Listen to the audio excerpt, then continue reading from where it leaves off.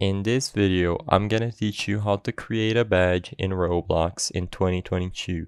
It's a very quick and easy process, so make sure to follow along. All you need to create a badge in Roblox is the latest version of the Roblox Studio app. You need to have your own creation and you need, need to be signed into the Roblox Studio developer website. So go to roblox.com slash develop in here, click on the Badges tab through this left-sided menu and you will be redirected to this new page. In here, select the experience to which you want to create a badge and click on the three dots at the top right corner of the screen and select Create Badge. Now, name your badge anything you want and add a description and an image. As you can see, I'm just doing random stuff.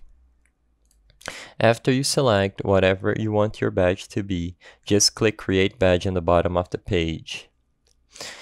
You will be redirected to this page where you may now click on your badge. Now, go back to Roblox and add a part anywhere on your map. We need this part to, uh, to get the badge we created.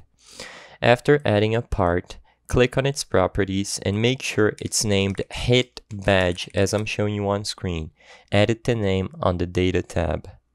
Now click on the plus sign on hit badge and add a new script. Within the script, use the script provided by Dragon Gaming 101 YouTube and paste it. Now all we have to do is change these numbers on local ID to the ID of our badge.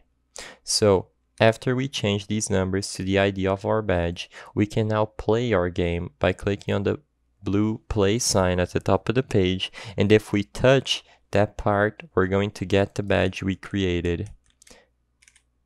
As you can see, the badge has been awarded as soon as I touch this part. I hope I was able to help you on how to create a badge in Roblox in 2022. If this video helped you, please be sure to leave a like and subscribe for more quick and easy tips. Thank you for watching.